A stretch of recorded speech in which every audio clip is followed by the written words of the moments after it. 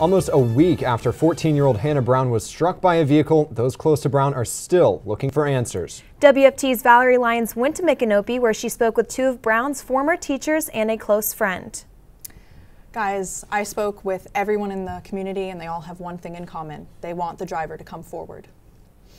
The community is coming together, whether it be through Facebook posts, GoFundMe pages, or visiting the site in person. Even if they didn't know her, they're all doing their part to remember Hannah's legacy.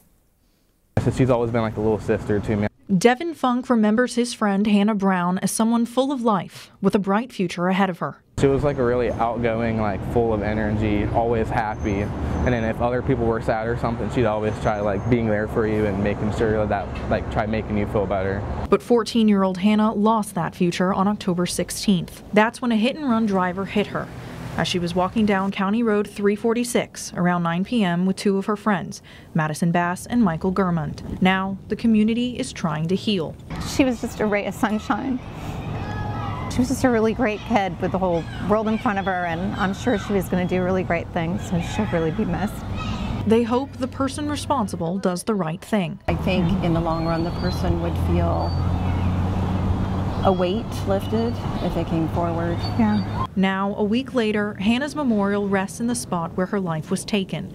That and a single skid mark serving as reminders of the fateful night. My heart goes out to them, and we hope that they find peace and comfort and um, finding who did it soon. As for Devin, he says the loss of his friend will remain with him always, but he hopes Hannah is still doing what she always loved to do. I just hope, she, I just hope she's in a better place and that she's happy up there right now. Yeah, I know that, that she's probably out there farming, uh, helping goats, farming, doing something outside. The crash remains under investigation and anyone with information is asked to contact FHP at 386 754 6281.